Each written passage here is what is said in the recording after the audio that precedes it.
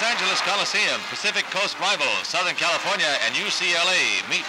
Just as the first period ends, Bill Nelsen's pass to Jim Bates is good, and Southern Cal gains 18 yards. A penalty moves the ball to UCLA's 12. And then Nelsen fires to Marlin McKeever for a Southern Cal score.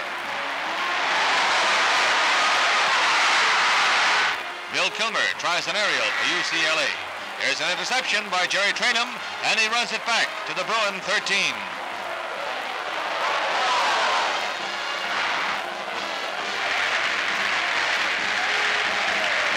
A few plays later, Hal Tobin plows across to score, and the Trojans boost their lead 14 to nothing. Bruins rally in the fourth quarter. Kilmer pitches to Jim Johnson for 16 yards.